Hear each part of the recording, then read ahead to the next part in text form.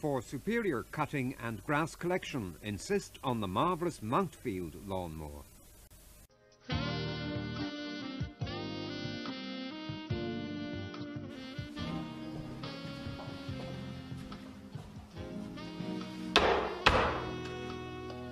I'm overstocked on lingerie. Looking for that sensual gift for a wife or loved one. Fed up spending over the odds for your smiles and intimates. But why not come on down to Fintan O'Malley's lingerie cash and carry? We do brassieres, French knickers, bloomers, countless crotchless accessories. And what's more, we sell by the box. So you get more, well, fuck, for your money. That's all that's left.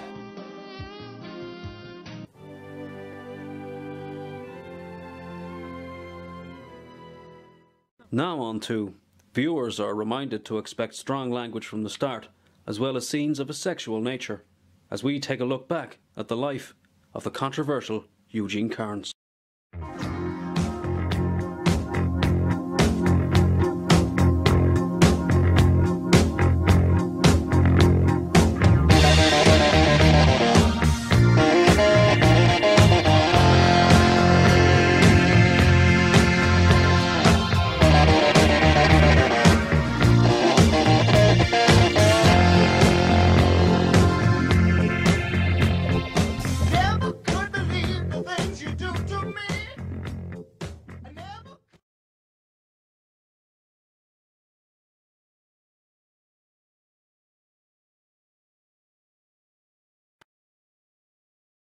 The year was 1969, and a few of us were bricklaying over in London.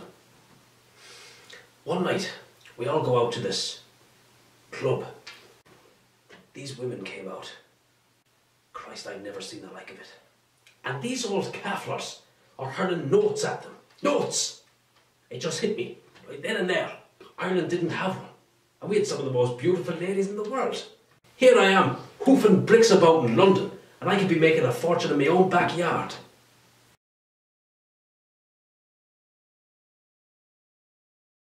parading harlots around on stage in front of lowlifes that can barely disguise the fact that they're interfering with themselves. Wanking like chimps! Heinous mauled off by ravenous gulls. Demon birds! You mark my words, Eugene Cairns.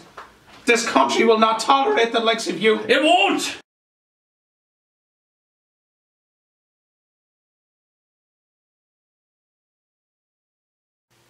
People don't want to be traipsing round the countryside going to clubs. No, Eugene Cairns can bring the club into your lounge.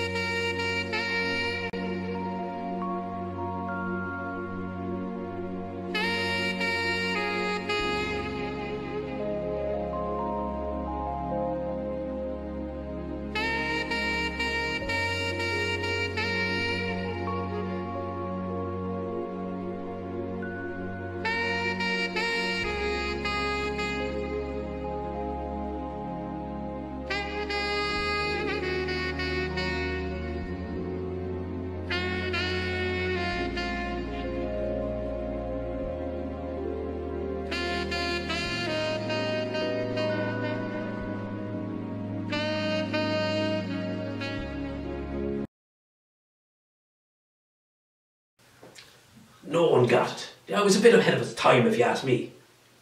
I was making art, though, not just titillation. I made a few films like that, and they sold all right.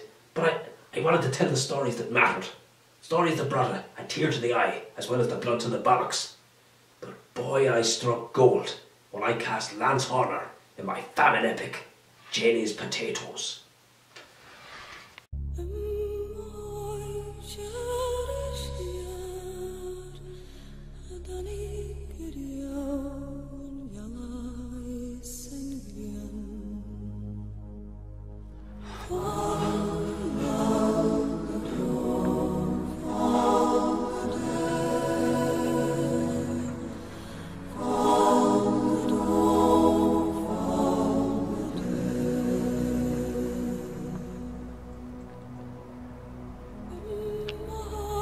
Rent is late.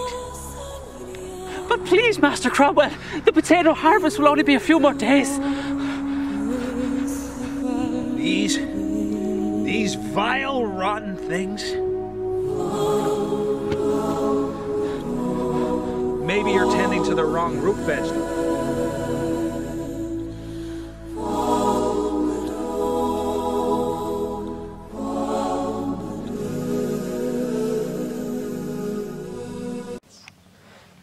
That ugly fucking goblin? I wouldn't piss in him if he was on fire running around my backyard engulfed in flames. Oh, lads, I'm dying! Help me! Help! I can't do it, you know what I mean, the guy's an asshole. Lured me over here with the promises of fast cash and all the women I could shake my dick at. And here I am now in my prime.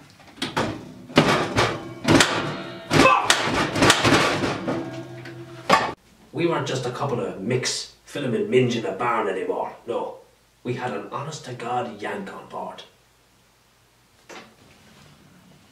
Back home I was doing some real nasty shit, you know?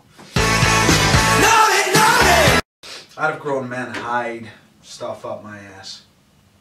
Tin meat, canned foods, hairbrushes, chopsticks. Like $20 pop for that, 40 if you wound up in the hospital. But the Irish, the Irish didn't even know what porn was. We were starting a sexual revolution. Well, that's how the world saw us, you know, there was feck all happening around here. He Even made the news after Spielberg threatened to stem. Gene didn't listen though, never did. Went ahead and released Alfonso, this extraterrestrial bullshit. My proudest moment is probably the E.T. thing. Spielberg lost his knickers up his hole over that one. See, we hired this Spanish fella with no legs to play Alphonse, the sextraterrestrial. God, he was perfect. All we had to do was glue feet to him.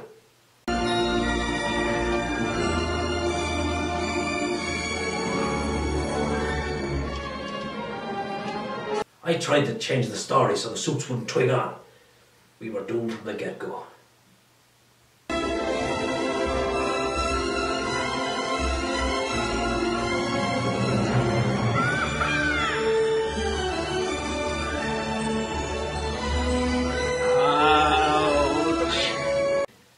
Worked with him again. Was a complete nightmare. Totally dependent, like a big fucking legless baby.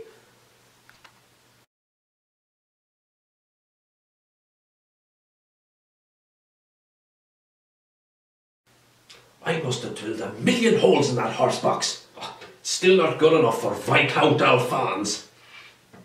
Still though, I was directly responsible for the passing of a new law for the treatment of the disabled in the workplace. I'm like your woman, you know, Rosa Parks, for the cripples. And we were pumping out hit after hit after that. Jim was out of control, man. Everything he touched seemed to make a fortune. And then he went ahead and made that unpronounceable bullshit. And that's when things got real fucking ugly.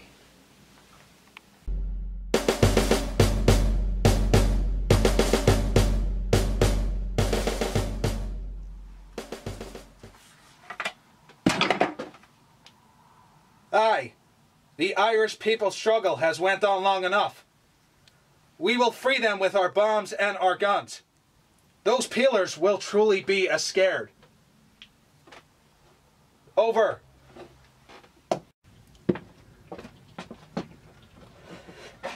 We need more men like you on our side, Sean. I know young, sexy Katrina Royan. Go call Gerry Adams and see if you can drum up some support for our cause. Oh, I will. Let's have a look at that gun first. Oh, Jesus, Mary and jokes. Oh. Gee. Oh. Freedom!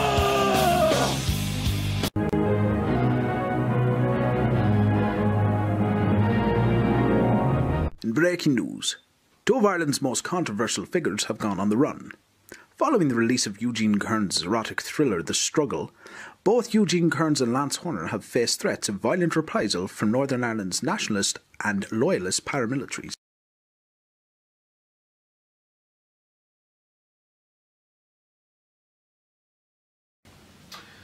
I had uh, three broken ribs. I was missing a cornea. impacted colon, I lost a testicle. Well, they wouldn't. Nobody would hire me anymore at that rate of going. I could only get real specialist shit. I was back to doing what I did in the states.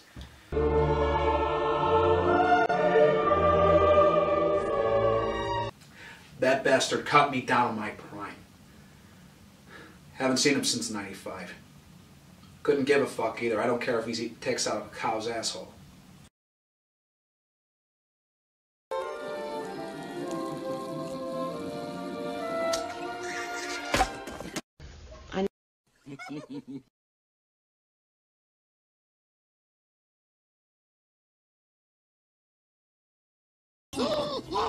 How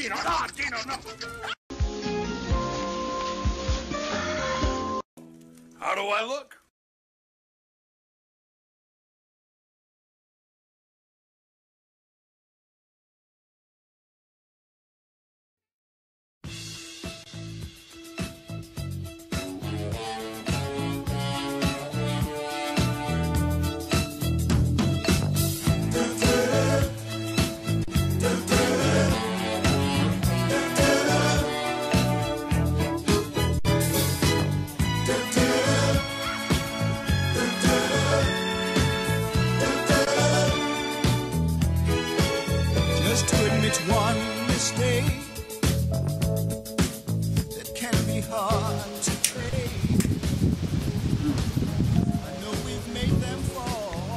My mother's ashes are in here.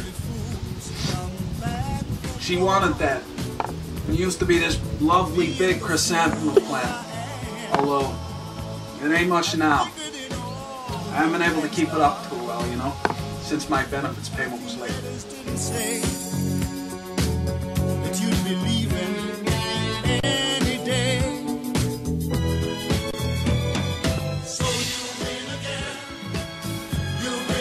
Again. Yeah, I like to get away from it all and do my martial arts. It helps me maintain a calm center.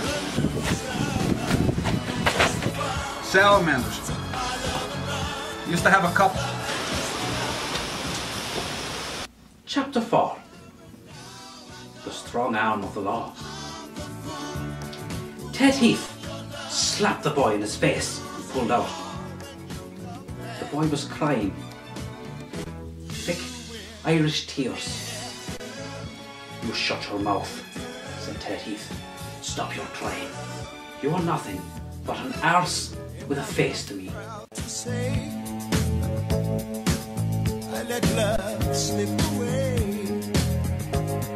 If I hadn't put that bastard in the hospital or stole his camera, I wouldn't have had my brainwave. There's no denying when will my heart